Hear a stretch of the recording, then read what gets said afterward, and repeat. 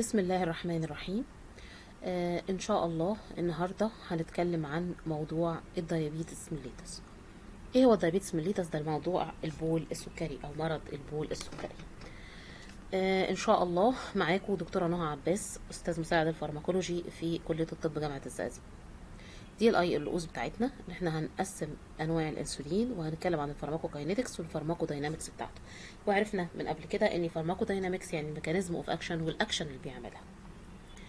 طيب إيه هو ال diabetes mellitus ال- ال diabetes كل كلمة في التعريف بتاعه لها معنى. chronic metabolic disorder chronic بمعنى إنه ما بيروحش.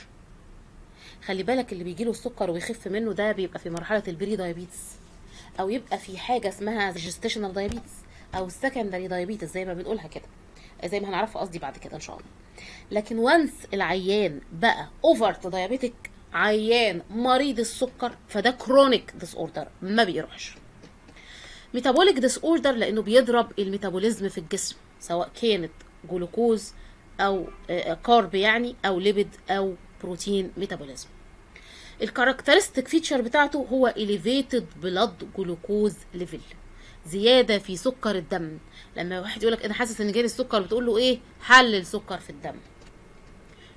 ارتفاع مستوى السكر في الدم عن الطبيعي هو مرض ال diabetes بس في مرحلة اسمها pre-diabetes هو ارتفاعه بس مش ارتفاعه لدرجة معينة. طبعا خدتوا الكلام ده كله في ال bio. بال levels معينة. طيب. associated with absent or inadequate pancreatic insulin secretion يعني إيه absent يعني ما عنديش انسولين خالص secretion من البنكرياس or inadequate يعني قل طب قل كام 5% 10% 15% قال لك لا أقول على العيان انه بقى diabetes لو قل الانسولين secretion عن 50% طيب with or without concurrent impairment of insulin action يعني إيه قد يكون الانسولين قليل بس ما عنديش في المشكلة في الأكشن بتاعه شغال. فده diabetes برضو طالما قل عن 50% خلاص أنا دخلت في ال diabetes طيب. With impairment of insulin action ده كمان في insulin insensitivity. يعني حتى الإنسولين الشوية اللي موجود الخلايا مش حاسة بيهم. وهنشوف ده معناه إيه. طيب. إيه هي أنواع ال diabetes العيان لما بيجي لك وانت قست سكر الدم لقيته عالي. ممكن يكون إيه؟ ده diabetes خلاص بقى ده مرض السكر. انهي نوع من انواع السكر؟ أنا عندي type 1 type 2 type 3 type 4 خدتوا الكلام ده في الفسيولوجي وهنقول كده على السريع اللي أنا هحتاجه منه إن شاء الله في ال pharma أول حاجة خالص أنا عندي type 1 هو الاسم دلوقتي أصلا كانوا بيسموه زمان insulin dependent diabetes دي التسمية القديمة ما عادتش بتستخدم خالص.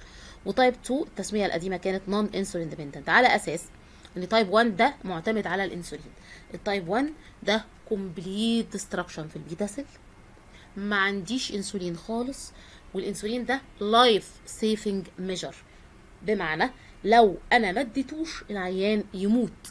فبالتالي you must add insulin عشان كده كانوا زمان بيسموه insulin dependent diabetes mellitus أما type 2 اللي هو ال non insulin dependent هذا العيان بيتعالج بال antidiabetic drugs طب ليه غيرنا المسمى ده؟ لأني type 2 أنا ممكن أعالجه بالإنسولين. و once إن البنكرياس فشل تماما في إفراز الإنسولين أو تحت ظروف معينة هنشوفها بعد كده أنا ممكن أضيف إنسولين.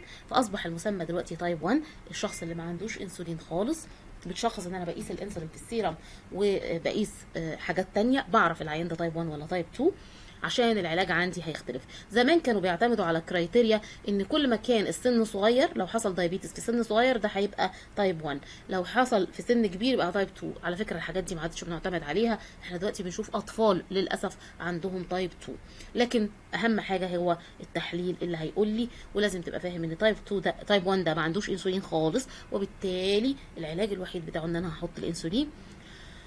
و type 2 ده آه، عنده شوية إنسولين بس قل عن 50% وبالتالي بجرب معاه أدوية تانية لكن ممكن أستخدم فيه الإنسولين. لكن في الغالب بجد اللي بنشوفه لسه إن type 2 ده في الغالب obese دايما في الغالب obese وهنقول إن ده بيحصل إزاي.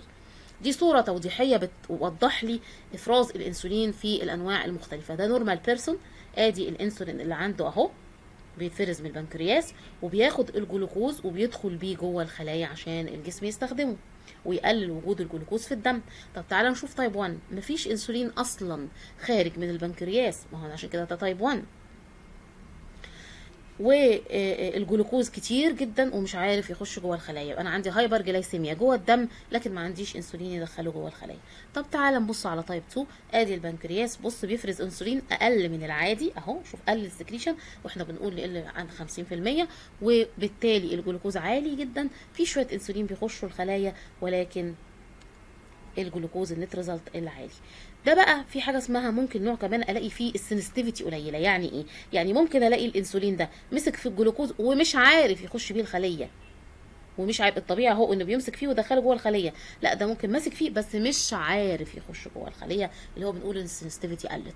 طيب أنا عندي type 1 و type 2 ودول ال most common في حاجة بقى اسمها ال type 3 انسولين ده بقى اللي ممكن يروح. يعني إيه type 3 يعني المشكلة ممكن تكون مش في الإنسولين نفسه. زي مثلا pancreatitis واحد عنده التهاب في البنكرياس. لو اتعالج على فكرة الالتهاب في البنكرياس ده من الحاجات الخطيرة جدا اللي بتموت. لكن لو اتعالج خلاص يخف ويروح وما عنديش مشكلة خالص. سيرجيكال ريموفال اوف بنكرياس لا طبعا ده هيعمل لي type 1 أنا شلت البنكرياس فده type 1 ولازم ياخد انسولين طول العمر. لكن في حاجات بقى ب drug therapy therapy واحد آه لسبب من الأسباب ياخد immunosuppressive immunosuppressive اللي هي المضادات للمناعة. لو في عنده antibodies بتهاجم جزء معين في الجسم وأنا اضطريت أديله immunosuppression كجزء من ال inhibition اللي بتعمله على الخلايا ال immunosuppressive دي بت بت بت مع الاميونيتي مع السبريشن الاميونيتي بتسبريس بعض الخلايا منها ال secretion of insulin و once ان العيان وقف ال immunosuppressive therapy ممكن العيان يرجع طبيعي تاني. عشان كده ده reversible لكن chronic إمتى؟ لما يبقى type 1 و type 2 ده خلاص بقى diabetes بعض ال inhibitor لل insulin release الحاجات اللي بتأثر على ال release of insulin زي الالفا 2 agonist لو تفتكر الالفا 2 agonist كده لما كنا بنقولها في S 1 أو في ال module الأولاني خالص في ال general pharmacology وال autonomic pharmacology ال alpha 2 دي presynaptic وأي حاجة presynaptic ال stimulation بتاعها بيقلل ال release of transmitters وكانت من ضمن الحاجات اللي ال stimulation بتاعها مش ال inhibition. Okay؟ طيب إيه هي أهمية الحاجات اللي هي بت inhibit ال insulin release أو بتأثر على ال release of insulin عشان تخلي بالك لو العيان عندك مريض سكر وأنت بتديله حاجة زي كده اولا better إن avoid حاول ما تستخدمهاش. سواء كانت هذه الأدوية أو ال counter regulatory hormones يعني إيه counter regulatory hormones خدتوها في الفسيولوجي. ال hormones التي تؤدي إلى ال hyperglycemia المفروض الإنسولين ده بيؤدي إلى hypoglycemia ال counter regulatory هي ال hormones التي تؤدي إلى ال hyperglycemia زي الجلوكاجون وزي الكورتيزون والكورتيكويدز وزي الثايرويد والكاتيكولامين والجروس هرمون والاورال كونترسبتيف كل تقريبا بقية ال hormones بتضاد ال thyroid ال insulin hormone. طيب لو العيان ده طب أنا يعني عارفة عرفت الحاجات دي ليه أو بعرف الحاجات دي ليه؟ better avoid يعني عيان السكر في الغالب ما تديلوش كورتيزون طب لو الكورتيزون life saving العيان ده عنده severe inflammation أو زي ما حصلت في أيام الكورونا زي الكورونا كان بيعلي السكر جدا كان من characteristic markers أو characteristic features في اللي بيجي له الكورونا وهو diabetic تلاقي السكر كان متظبط وفجأة لخبط بأرقام عالية جدا. ف ونزل في ال routine therapy بتاع الكوفيد 19 ال corticosteroid therapy. فبالتالي لازم أستخدمها. ده life saving في هذه الحالة. فممكن أعلي معاها جرعة الإنسولين. يبقى أنت دلوقتي العيان جاي لك عايز تحط مثلا ال thiazide diuretic عشان hypertension يبقى take care حاجة من الاثنين يا better to avoid وتستخدم حاجة ثانية ما عنديش حل اللي أنا أستخدمها. يبقى خلي بالك إن دول بيقللوا ال level بتاع الإنسولين. يبقى أنا ممكن أزود الجرعة بتاعة الإنسولين. طيب. وقلنا ال secondary ده ممكن لو وقفت الأدوية لو هو سبب زائل وقفت الحاجة المسببة لنقص الإنسولين هيتحسن ويبقى كويس. طيب عشان كده عملناه نوع لوحده ما حطيناهوش مع type 1 و type 2 اللي هما chronic أمال إيه ال gestational diabetes أو type 4 باين من اسمه gestational يعني الحمل. ده ال diabetes which is diagnosed for the first time during pregnancy. يعني إمتى أقول على على الواحده مش الواحد طبعا. إمتى أقول على الواحده إن هي gestational diabetes. لو ست جات لي الجلوكوز بتاعها عالي في أثناء الحمل. طيب ما هو ممكن تكون كان عالي قبل الحمل وهي diabetic ومش واخدة بالها.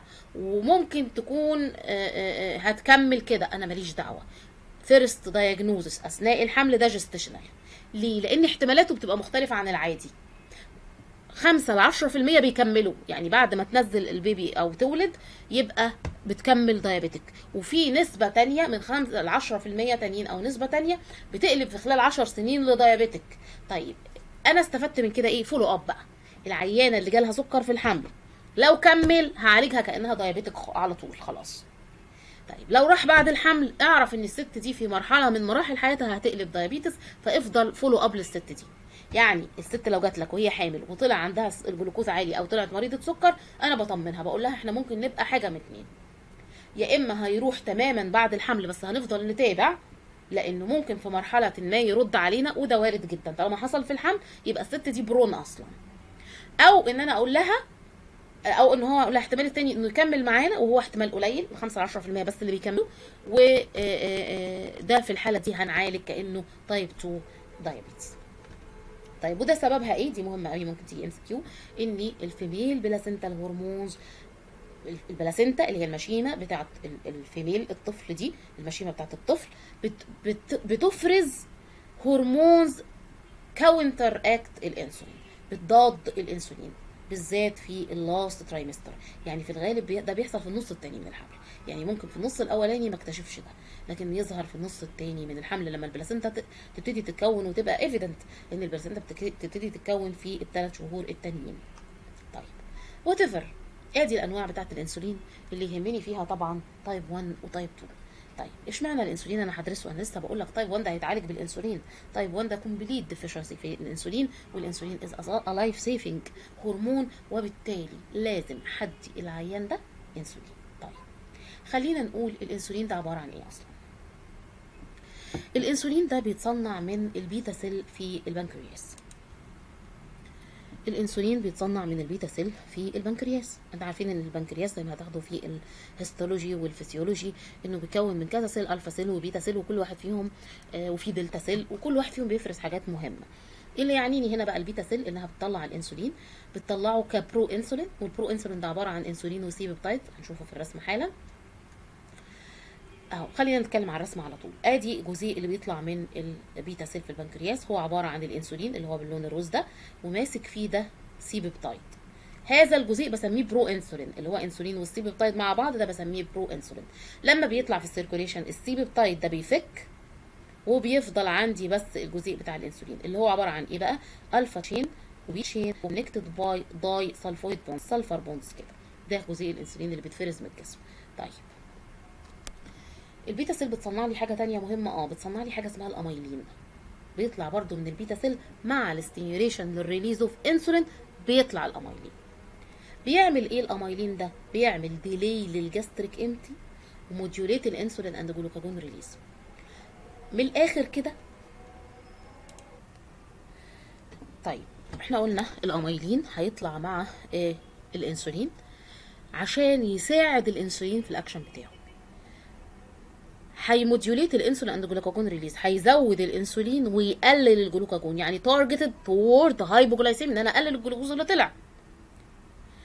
و delay ال gastric empty يعني إيه delay ال gastric empty المفروض إني تفريغة ال content بتاع ال stomach في ال intestine اللي هيخش ال intestine أنا همتصه. لو اتفرغ بسرعة الجلوكوز هيمتص بسرعة هيطلع في الدم بسرعة. لكن لما اعمل له delay يبقى هينزل ببطء هيخش ال circulation كميات قليلة يبقى هيقدر الإنسولين القليل اللي في الجسم يتعامل معاها. وعشان كده عملوا دواء amylin analogue اسمه pramlintide أو pramlintide ده عملوه يستخدم في ال diabetes هنفتكر إن شاء الله في آخر محاضرة من محاضرات ال diabetes هذا الدواء. طيب بيستخدم ليه؟ عشان delay ال gastric emptying و inhibit ال glucagon release وبالتالي هيقلل ال postprandial hyperglycemia الكلمة دي مهمة جدا. ليه بقى؟ زي ما إحنا هنقول حالا ال pattern بتاع الإنسولين في الجسم الإنسان الطبيعي إنه بيزيد بعد الأكل. العيان اللي عنده diabetes هياكل الإنسولين هيزيد قصاده بس مش هيبقى عالي قوي يساوي كمية الجلوكوز اللي كلها فبالتالي هيحصل عندي hyperglycemia ودي مشكلة. طب أنا عايزة أقلل ال hyperglycemia دي. ممكن اقلل له الأكل عشان أقلل الجلوكوز اللي داخل أو أزود له الإنسولين زي ما هناخد ال insulin secreting drugs أو ممكن إن أنا أدخله الأكل بس بالراحة. delay ال gastric emptying أهي عن طريق آه، أحد الميكانيزمات بتاعت الايه الأميلين. إن أنا delay ال gastric emptying أقوم أقلل ال postprandial hyperglycemia اللي ممكن تحصل وبالتالي أخلي الإنسولين اللي عند العيان ده يكفي. طيب بيتاخد إزاي بال subcutaneous injection عشان ما نتلخبطش. لأني بصر بصر على الموضوع ده شوية إزاي؟ لأن أدوية ال diabetes فيها group بتتاخد oral وفيها group بتتاخد injection فخلينا طول ما إحنا ماشيين نقول يتاخد بيتاخد إزاي؟ لأن في ناس متصورة إن الحاجة الوحيدة اللي بتتاخد في مرض السكر بال injection هي الإنسولين. لا ده أنا عندي حاجات تانية كتير ممكن تتاخد بال injection غير الإنسولين. زي ما إحنا شايفين أهو ال pramlintide أهو. ده بيتاخد subcutaneous injection طب أهم adverse effect بتاعه إيه؟ hypoglycemia عايزه أقول لك طول ما أنت ماشي أي دواء أي دواء هيزود إفراز الإنسولين من البنكرياس هيعمل لي hypoglycemia ما عدا أدوية معينة وهقول ما بتزودش ليه رغم إنها بتزود طلوع الإنسولين من البنكرياس. فمشكلته طالما بيزود ال release of insulin من بنكرياس ويقلل الجلوكاجون. مشكلة هذا الدواء إن هو هيعمل لي hypoglycemia هيعمل لي hypoglycemia.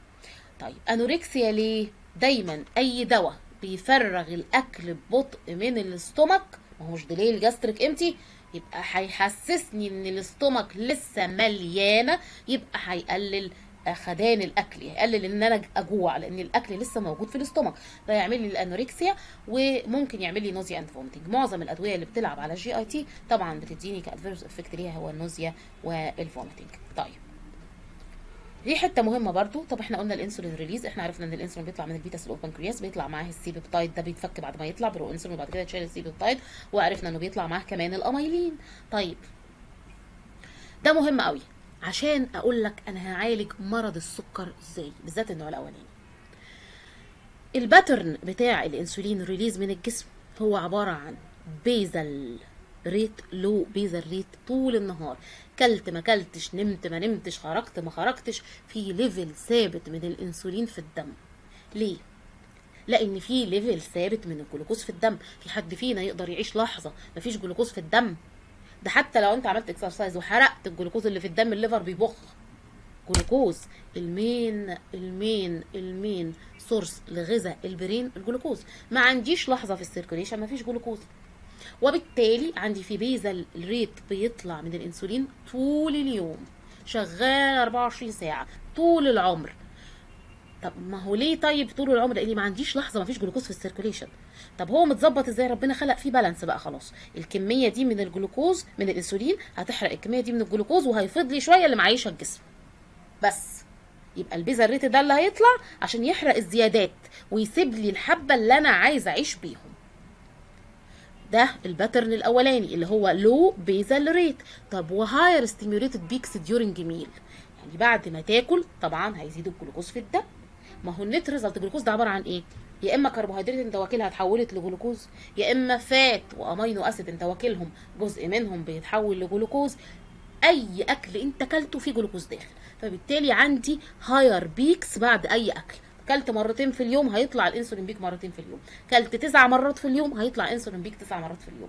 وده يفسر لي ليه العيان ال obese اللي بياكل كتير معرض لحدوث مرض السكر بيستهلك البنكرياس بتاعه. كل ما زودت في عدد مرات الأكل بالذات لو كميات كبيرة. طب مثلا نقول لك إيه طب ما أنا بعمل diet ب small frequent meal بياخد ست سبع وجبات في اليوم. صح. بس ست سبع وجبات معينة كميتها قليلة ما تطلعش قصادها انسولين كتير. لكن المشكلة في اللي بياخد لو خد وجبتين في اليوم وكمية كبيرة جدا هيطلع انسولين كتير.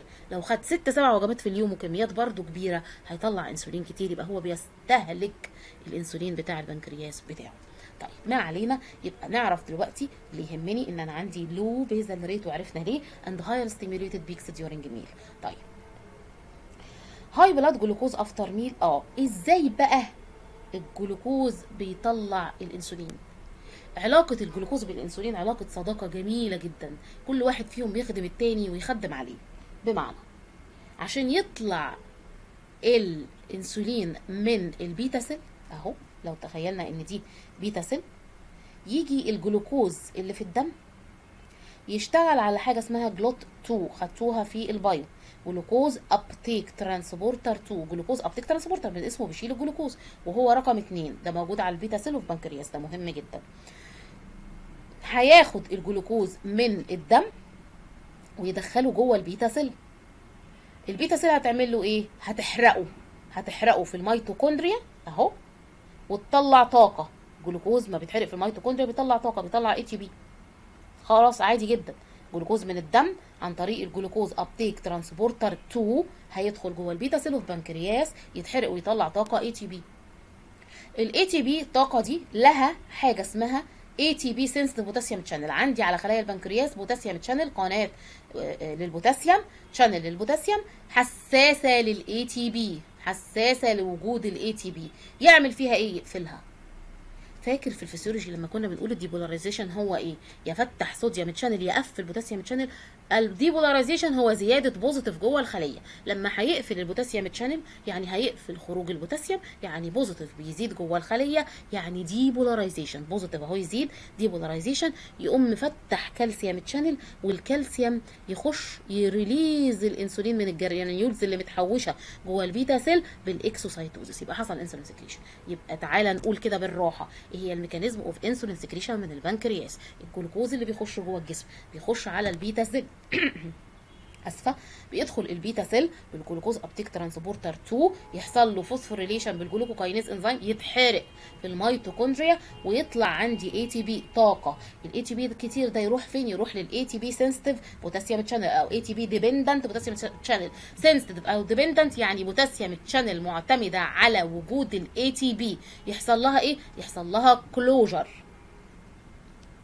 closure يعني منع خروج البوتاسيوم يعني positive جوه كتير. يعني depolarization يفتح voltage gated calcium channel voltage يعني إنها كهربية لا تتأثر بالدواء مش agonist gated voltage gated يعني يتحكم فيها الكهربيه وفعلا ال depolarization أو ال positive فتحها.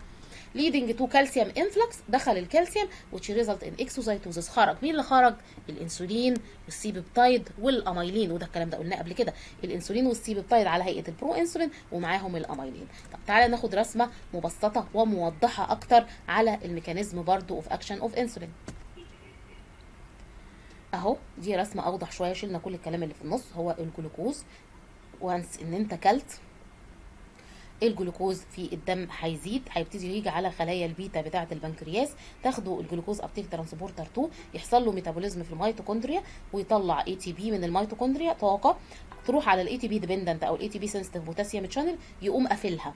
قافلها يعني ال positive بدأ يزيد جوه لأن البوتاسيوم مش عارف يخرج. هذه ال positivity تفتح voltage gated calcium channel تدخل الكالسيوم ويعمل release of insulin بال exocytosis اللي بيطلع مع الانسولين MCQ insulin C-peptide and amylin عشان كده اما بنيجي نشخص الانسولين قل ولا زاد اقيس الانسولين في الدم في ناس بتقيس ال C-peptide. صح. ما هو لو زاد ال C-peptide يبقى الانسولين كويس لو قل ال C-peptide يبقى ما عنديش انسولين كتير.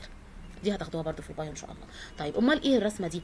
أهو خلي بالك بقى إن جزء من تفكير الناس قال لك طالما إن الإنسولين بيخرج بقفلة ال ATP sensitive potassium channel طب ما أنا ممكن أدي أدوية تقفل لي ال potassium channel دي وبالتالي هيزيد ال positive جوه هيخش الكالسيوم وهيحصل exocytosis للإنسولين وده بيحصل فعلا. في بعض الأدوية إن شاء الله اللي هنتكلم عنها في المحاضرات بتاعة ال diabetes الجاية هتعمل هذه ال mechanism. طيب ال regulation of insulin secretion جزء منه كبير قلنا. إيه هي الحاجات اللي بتتحكم في وجود الإنسولين في الدم؟ رقم واحد الجلوكوز يا عم الأكل ال food intake كل ما زودت ال food ايا كان الجلوكوز أهم واحد بصحيح بس ال amino acid وال fatty acid كمان لها دور. يعني آه عارف أنظمة الكيتو اللي بيقول لك إيه طب ما أنا مش هاكل جلوكوز بس هاخد آه آه fatty acid ما هو جزء منها برضه هيتحول لجلوكوز وهيطلع الإنسولين وإلا الإنسان هيموت. ما علينا يبقى الانسولين ال regulation بتاع الإنسولين بال food intake كل ما زاد ال food intake بالذات الجلوكوز لكن برضو ال amino acid وال fatty acid لها role هيزيد ال insulin secretion ال GIT hormones دي برضو حتة جميلة جدا جدا جدا. وجدوا إن في GIT hormones اسمهم glucagon like peptide 1 بيطلعوا من ال intestine اللي هو ال GLP 1 ده أو ال glucagon like peptide 1 وفي ال GIP اللي هو glucose dependent insulinotropic peptide أو polypeptide وال cholecystokinin والجلوكاجون دول كلهم بيزودوا الانسولين release من البنكرياس طيب ال GLP وال GIP دول وجدوا إنها هرمونات بتطلع local من ال intestine تطلع الانسولين من البنكرياس وده برضو هيخلينا نقول إن شاء الله في المحاضرات الجاية إن هم فكروا يعملوا أدوية بهذه الطريقة إن أنا أعمل دواء GLP 1 أو GIP أهو لما احقنه في الجسم يطلع الإنسولين من البنكرياس. طيب. وبعض ال hormones زي الجلوكاجون وال growth hormone بيزودوا الإنسولين release. السوماتوستاتين ده اللي بنسميه ال universal inhibitory hormone inhibit كل ال hormones أو معظم ال hormones الموجوده في الجسم. وال prostaglandin E 1 بيقلل الإنسولين secretion. الحاجات دي تيجي طبعا MCQ طيب. ال autonomic receptor فيها حاجات زي ما قلناها قبل كده. البيتا 2 receptor stimulation. وال muscarinic receptor هيزودوا الانسولين secretion ال alpha 2 receptor هيقلل الانسولين secretion بس خلي بالك الألفا 2 stimulation. ليه لا؟ يتلعب قوي قوي في الحتة دي في ال MCQ alpha 2 stimulation ولا inhibition لا الألفا 2 ده presynaptic وقلنا ال stimulation بتاع معظم الحاجات اللي presynaptic بتؤدي إلى decrease ال transmission release طيب من الحاجات التانية اللي بتأثر على الانسولين release افتكروا ال hypoglycemia هتزود ولا هتقلل الانسولين secretion؟ مفيش جلوكوز يبقى مفيش انسولين. الجلوكوز هو اللي بيزود الانسولين secretion. يعني ال fasting أو ال starvation الإنسان اللي في fasting في مجاعة في صايم أو في مجاعة بيقل عنده خالص الانسولين عشان ال hypoglycemia وبعض ال drugs قلنا بستفيد إيه من الحتت دي؟ أنت يا عم وعارف إن العيان بياخد دواء بيقلل الانسولين هتزود له العلاج شوية. خلاص؟ طب بياخد دواء بيزود الانسولين يبقى هقلل له العلاج شوية. إيه هي ال mechanism of action أدي عرفت الانسولين اللي طالع من الجسم بيطلع إزاي. طب اللي هديه من بره. ما خلاص ده مش طالع من الجسم اللي هديه من بره هيروح على receptor ويشتغل على طول. طب واللي ده اللي جاي من جوه اللي طالع من جسمي هيروح على ال receptor ويشتغل على طول. طب فين ال receptor ده يا عم؟ تعالى بنقول بقى. ال insulin receptors. ال insulin receptors بتتكون من إيه؟ تعال نشوف الرسمة الأول وبعدين نرجع نتكلم على الكلام العلمي. أهو بص هي عبارة عن اتنين alpha subunit. أدي اتنين أهي أدي واحد أدي اتنين. واتنين beta subunit. أهو التانية ال beta subunit أهي. بصوا شوف وصف الألفا جزء منها بره ال membrane والجزء التاني جوه ال membrane. طب والبيتا برضو جزء منها جوه ال membrane والتاني داخل لجوه الخلية أهو ده البيتا. ومسكة الجزيء الإنسولين بيمسك فيه ال pocket على ال alpha subunit أهو. بص أهي.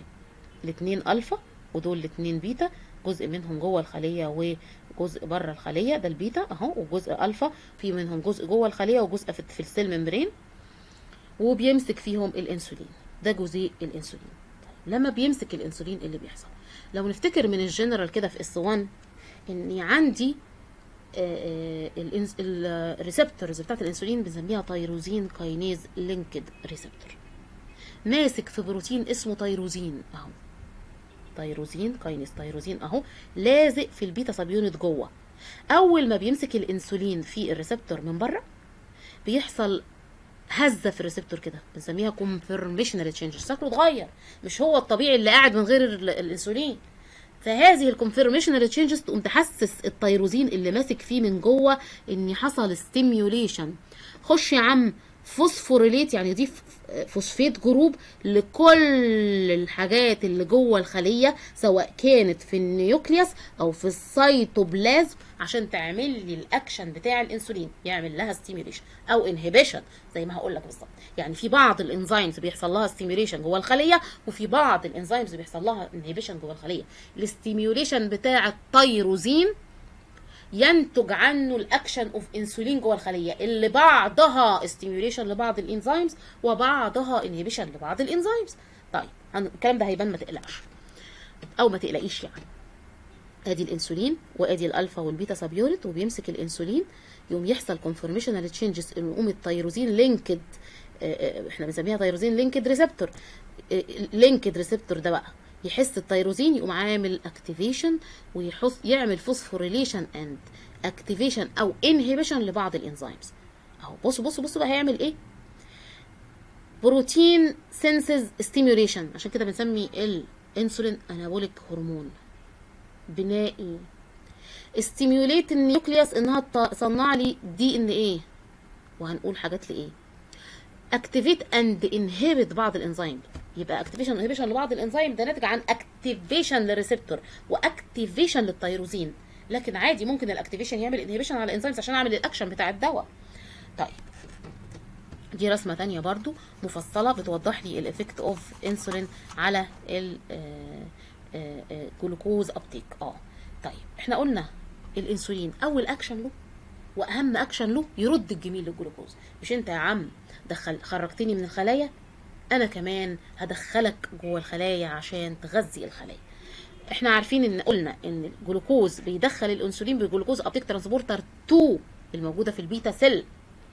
يقوم الإنسولين لما يمسك في ال receptor بتاعه ويحصل stimulation لل tyrosine اللي ماسك جوه في ال beta subunit ويعمل phosphorylation phosphorylation phosphorylation و activation جزء منها بيصنع حاجات في ال nucleus زي ما قلنا هنا أهي بيصنع حاجات في ال DNA إيه هي الحاجات اللي بيصنعها دي؟ واحدة منهم glucose uptake transporter.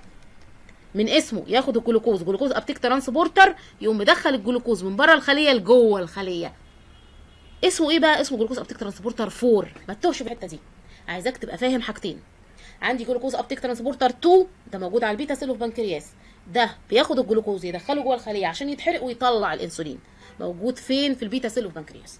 طب امال ال glucose uptake transporter 4 ده بقى إيه؟ ده هو اللي mediate ال action بتاع الانسولين على ال insulin responsive tissue. ال insulin receptor موجودة في معظم ال tissues اللي في الجسم لكن الاكشن بتاعها في ثلاثة tissues بس. ال liver وال muscle وال adipose tissue. عشان كده بنسميها insulin responsive cells أو insulin responsive tissue. فهذه ال cells هو الانسولين لما بيمسك على ال receptor بتاعها علي بتاعه عليها يقوم activate ال DNA وال nucleus إنها تصنع بروتين اسمه glucose uptake transporter 4 ترميه على ال cell membrane عشان يدخل الجلوكوز جوه الخلية ويستخدمه. كأنه بيرد الجميل لل الجلوكوز اللي طلعه تعال نبص بقى على الكلام المكتوب ده ال insulin receptor consists of 2 alpha subunit and 2 beta subunit linked by disulfide bonds ماشي كل الكلام ده ماشي ال 2 alpha subunit located على ال external surface ال beta subunit crossing membrane and project extra و intracellular شفناها في الرسمة. الانسولين bind لل alpha subunit activate ال receptor يؤدي إلى conformational changes facilitate ال phosphorylation لل tyrosine الموجود. initiating events leading to phosphorylation of the cytoplasmic protein enzymes and gene أيوه. في بروتينات stimulated جوه الخلية. انزيم stimulated و inhibited gene expression عشان يطلع لي بروتين منها ال glucose. uptake transporter أهو. و translocated كمان على ال cell membrane. فين بقى؟ في ال insulin responsive tissue اللي هو ال adipose tissue وال skeletal muscle و معاهم ال liver. طيب بيحصل إيه بعد خلاص؟ ما هو عمل الأكشن بتاعه. internalized هذا الجزيء المشترك من الإنسولين مع ال receptor بيخش جوه الخلية. هو كده ربنا خلقه كده. بعد ما يعمل الأكشن بتاعه يقوم داخل جوه الخلية. عشان إيه؟ عشان يتكسر الإنسولين ويبتدي ال receptor يتظبط جوه الخلية في ال Golgi system ويتظبط بالحاجات اللي جوه الخلية ويطلع نضيف تاني على السطح عشان يقدر يمسك في إنسولين تاني. هو ده كده دورة حياته أهي إنه بعد ما يخلص بيحصل له internalization inside the cell are degraded يتكسر and some of them recycle بعضها بيتكسر تماما وبعضها بيتنضف ويتظبط ويرجع تاني inserted في ال plasma membrane مرة تانية. طيب عايزة أقول حاجة. إحنا لسه قايلين هنا في بعض الإنزيمز stimulated وبعض الإنزيم inhibited أهو إيه بقى هو الإنزيم اللي هت stimulated والانزيم inhibited ركز معايا وأنت مغمض عينك وفي ال bio أي حاجة هتاخدها امشي زي ما بقول لك. إن شاء الله. كل ما له علاقة بزيادة الجلوكوز في الدم أي إنزيم له علاقة بزيادة الجلوكوز في الدم الإنسولين هيعمل فيه إيه؟ أه أسمع. صح هيقلله. لأن الإنسولين دوره إنه يقلل الجلوكوز في الدم.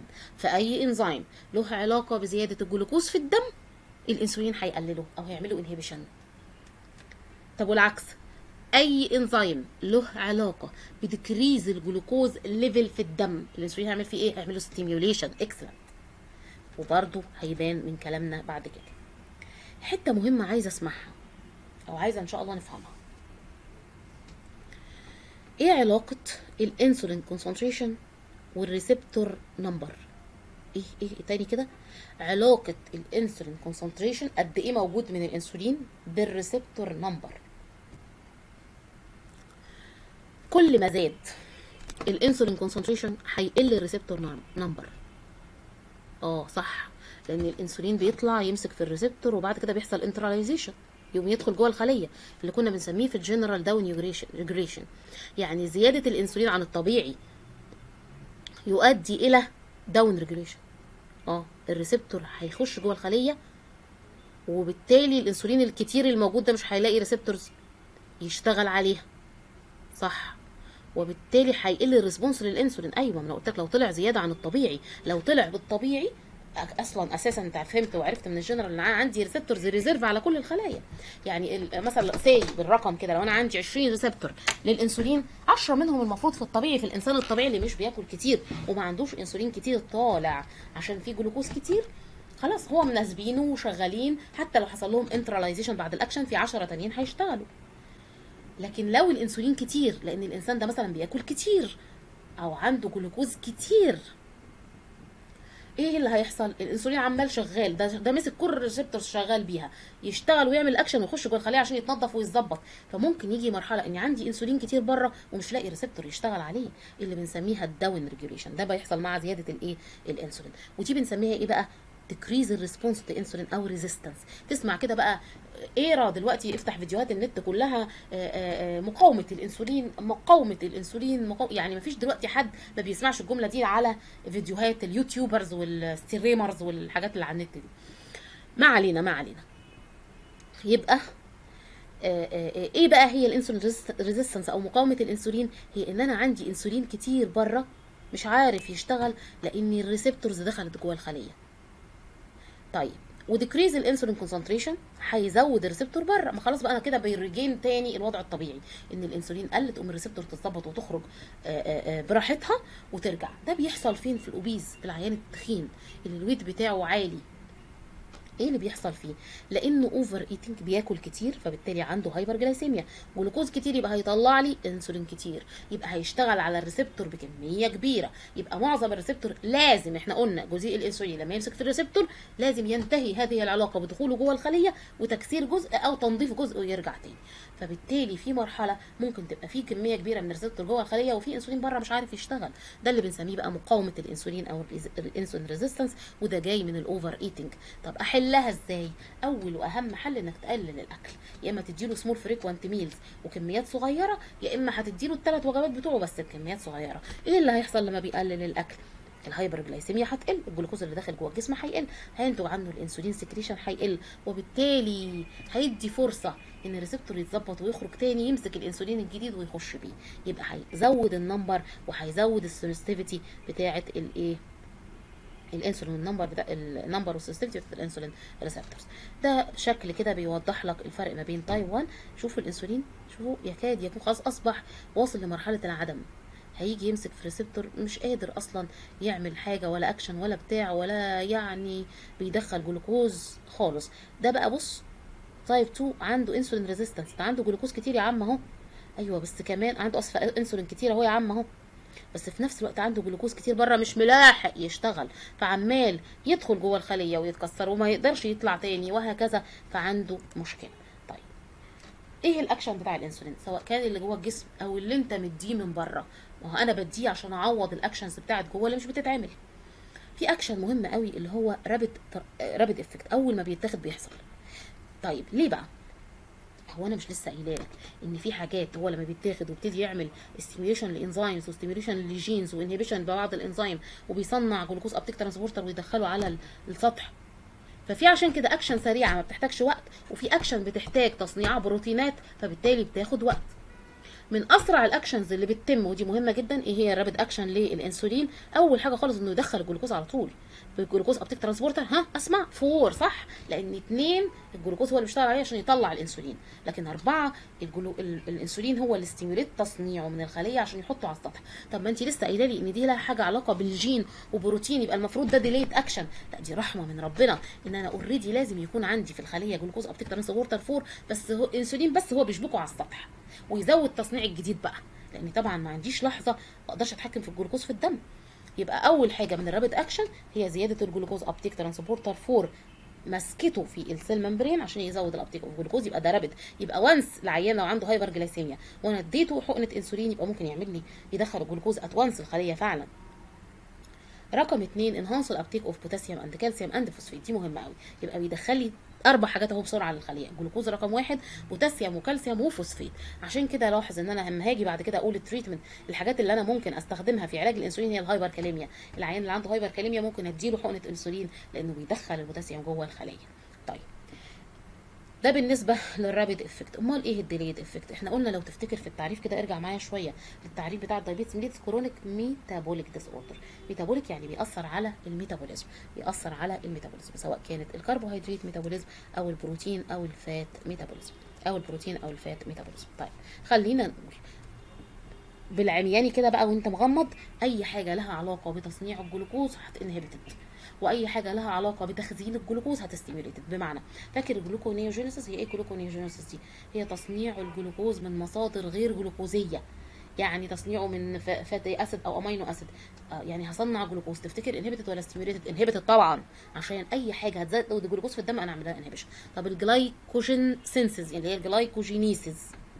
تصنيع الجلايكوجين من الجلوكوز. طب ثانية كده أما أفكر هو أنا لما أصنع جلايكوجين من الجلوكوز يبقى قللت الجلوكوز في الدم؟ آه يبقى هو هي stimulate ال glycogen synthesis أو ال glycogenesis. صح. أي حاجة طول ما أنت ماشي لها علاقة ب decrease الجلوكوز في الدم هيشتغل عليها وأي حاجة هتزود الجلوكوز في الدم هيعمل لها inhibition طيب بالنسبة للاكشن على البروتين هو anabolic بياخد ال amino acid يعمل بيها بروتين. amino acid anabolic يعني يبني بروتين. طب ليه؟ عشان مش عايزها تتاخد في ال gluconeogenesis. فمش عايزها تصنع جلوكوز لا ده أنا أصنع بروتين أحسن. عشان كده stimulate ال protein synthesis inhibit degradation مش عايز تكسير. أنا مش عايز amino acid عشان تصنع لي جلوكوز. يبقى أزود تصنيع البروتين وأقلل تكسيره وأمنع ال gluconeogenesis. استخدام ال amino acid في إنها تصنع جلوكوز. على ال fat نفس القصة بالظبط. أي حاجة فيها تطليع جلوكوز هيمنعها. هنا بقى في حتة جميلة جدا ومهمة قوي قوي قوي قوي قوي في الأكشن بتاعه على ال fat أنا عندي اتنين lipoprotein lipase enzyme تلعب في الحتة دي بال MCQ لعب جميل.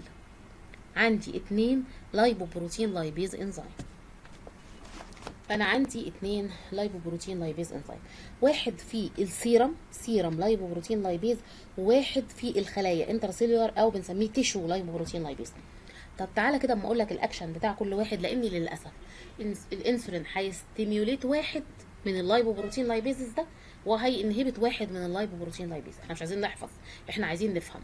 تفتكر هو هي stimulate أنهي واحد ولا inhibit أنهي واحد؟ طب تعالى أقول لك على الأكشن وأنت تقول لي يومي هيعمل إيه فيهم.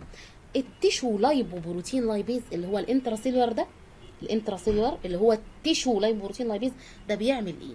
بيكسر ال triglyceride لحاجتين. glycerol و free fatty acid ال glycerol هيعمل gluconeogenesis يعني إيه؟ يعني الجلوكوز هتستخدم هتستخدمه الخلايا إنها تطلع طاقة تصنع جلوكوز وال free fatty acid هتستخدمها الخلايا إنها تطلع حاجة اسمها ketone bodies. تعالى كده يا عم لحظة أنت قلت لي إن ال tissue lipoprotein lipase أو ال intracellular lipoprotein lipase. ده هيديني جليسرول يقوم يصنع gluconeogenesis آه يعني هيصنع جلوكوز. يبقى أكيد ده هيحصل له إيه بالإنسولين؟ inhibition 10 على 10 أهو يبقى ال tissue أو ال intracellular lipoprotein lipase أو اللي بنسميه triglyceride lipase ده بيكسر ال triglyceride ل glycerol و free fatty acid.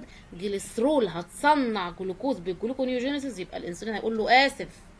inhibition طب أمال السيرم أو البلازما أو اللي موجود في ال blood lipoprotein lipase ده بيكسر الدهون ينظف الدم من ال triglyceride ويدخله جوه ال liver. يبقى هيحصل له stimulation stimulation طالما يا عم ما بيصنعش جلوكوز لا بيكسر ال triglyceride يتاخد بال liver. ده stimulated بالإنسولين. يبقى عرفنا ليه هو inhibit ال intracellular أو ال tissue lipoprotein lipase. while stimulate ال serum lipoprotein lipase. طب تعالى يا عم بقى على ال tissue lipoprotein lipase اللي هو inhibited بالإنسولين. المفروض إنه الطبيعي إنه لو شغال بكفاءة عالية هيطلع جليسترول يستخدم في ال gluconeogenesis ويطلع لي جلوكوز وهيطلع fatty acid تعمل لي حاجة اسمها ketone bodies عشان كده normally الإنسولين وهو موجود ما بيسمحش إن ده يحصل. طب في عدم وجود الإنسولين. يحصل. يقوم الجلوكوز يعلى في الدم بهذا السبب ويقوم ال ketone bodies اللي هي الأجسام الكيتونية تعلى في الدم لهذا السبب.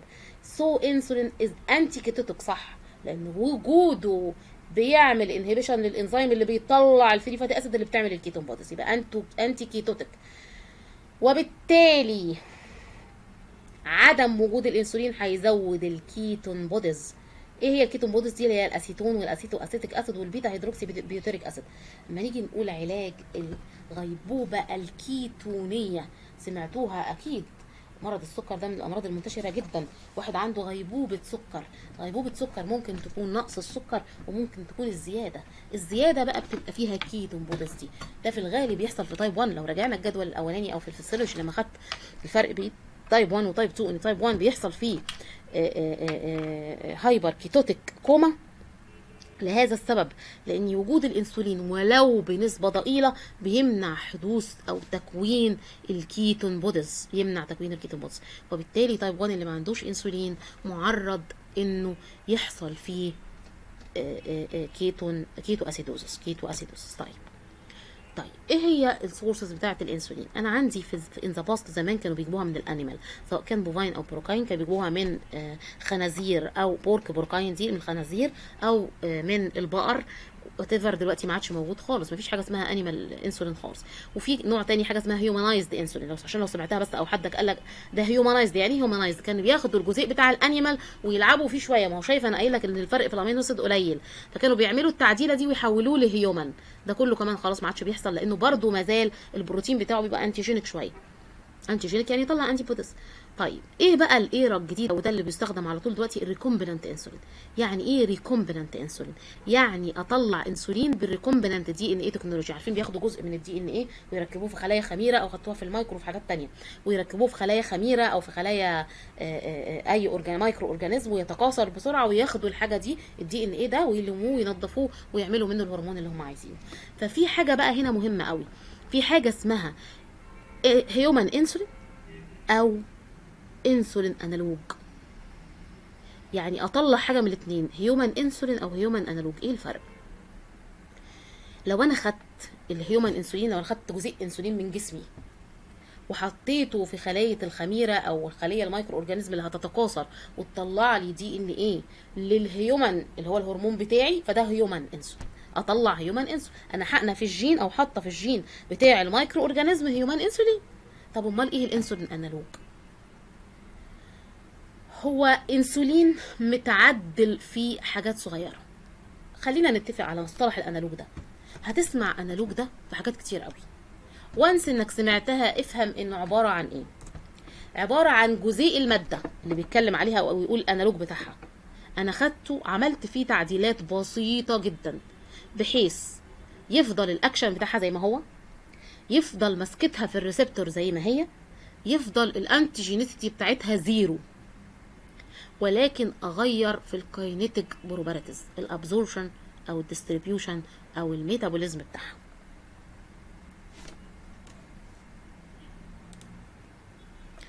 ولحد قصة ال insulin analogs هنتهي آه إن شاء الله المحاضرة الأولانية من ال diabetes وبإذن الله تعالى هنبتدي نتكلم عن المحاضرة التانية. هنكمل فيها بقية الإنسولين آه بأنواعه. واستخداماته وال adverse effects بتاعته. وهنبدأ إن شاء الله في الحديث عن ادويه type 2 أتمنى إن تكون المحاضرة كانت كويسة.